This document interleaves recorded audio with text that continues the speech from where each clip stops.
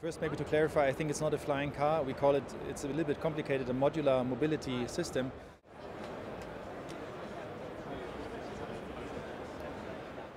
The idea is to be infrastructure light for the people, but also to have something from the cost perspective achievable for the most of us at least. Yeah? So we don't want to have a super rich uh, uh, travel tool. We want to have this accessible for more people because we think only then in mega cities it can first influence in a positive way the traffic and also more important, it, it will be socially acceptable.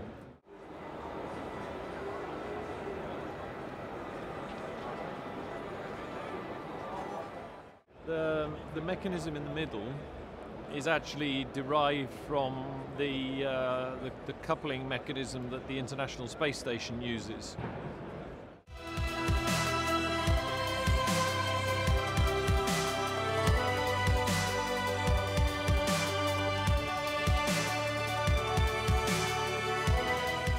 Car is full electric, so it's uh, really zero impact in terms of pollu- pollution.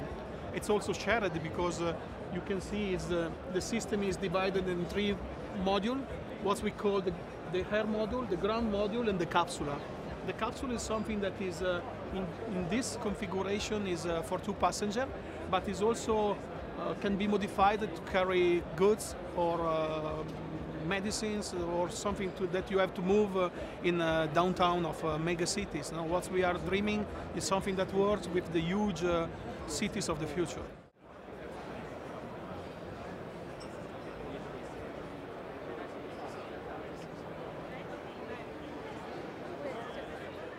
Um, with, with today's battery technology, uh, we could design a vehicle.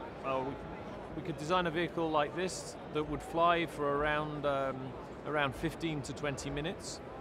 Um, our target, um, our, our objective is to have a vehicle that can fly for 30 minutes um, and around 60 kilometers, which is is uh, which is aimed at covering almost all the uh, airport to city centre routes that exist in the world.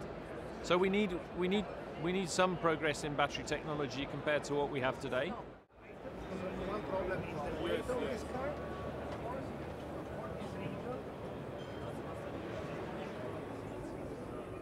By definition, it will make noise.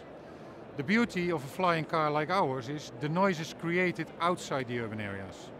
So you drive from the door where you leave your garage, you take off outside the urban area, you land outside the urban area and drive in again.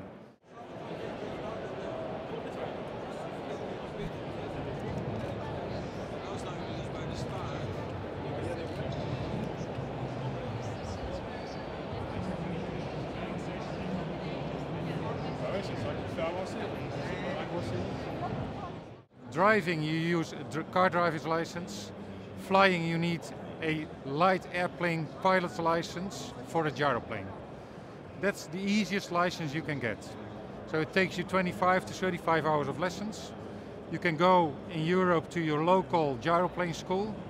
For example, France has 50 of them, Germany 20, you name it. But our customers probably don't want to go for a year long on Saturdays, one hour of training.